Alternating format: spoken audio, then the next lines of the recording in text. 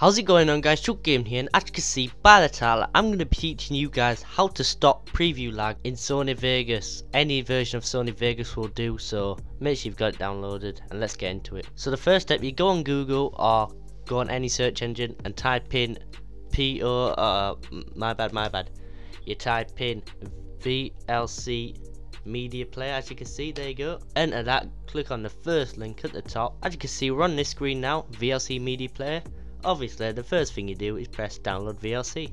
Wait till this window pops up and then you should start downloading at the bottom. So just wait a few seconds, VLC, there you go, save. So guys, once it's downloaded, I'll be back to you. So guys, once it's downloaded, it brings up this icon here, so obviously you're going to click it, wait until it opens. As you can see, it comes up here, so you're going to press yes.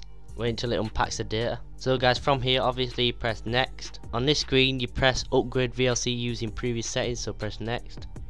Then as you can see it's just going to extract all this stuff and I'll be back to you once it's done. Right guys it's done extracted so as you can see you have to click that run VLC media player and then press finish. Wait until it loads up. As you can see it's loaded up now so the first thing you have to do, guys, so make sure you have the video of what you want to stop lagging in Sony Vegas. So first thing you need to do is go on media, you go and open multiple files. So as you can see, you get brought to this screen. So you press add. So you go to the video what you want to change. So I'm going to do this one. As you can see, it's added now. You can do multiple, but I'm just going to do this one for now. Guys, once you've added the thing, you click on this arrow here and you press convert. So guys, you're brought this screen and the first thing you're going to do is make sure all the settings are the same as me. Tick convert, all these unticked. Make sure your videos on video H.263 plus MP3 in brackets MP4 and then what you need to do is press this. Make sure encapsulation is on MP4 slash MOV and then video codec make sure these two are ticked. Audio codec make sure these two are ticked as well. And subtitles they don't mean anything just untick them anyway and then press save.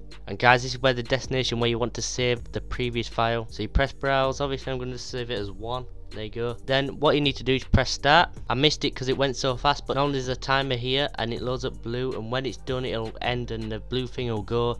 And then your video should be done. I'm going to show you now going to your file where you saved it.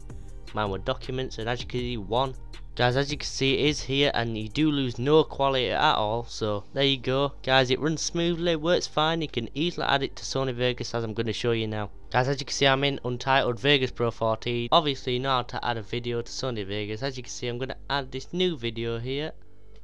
Number one there you go. Press yes.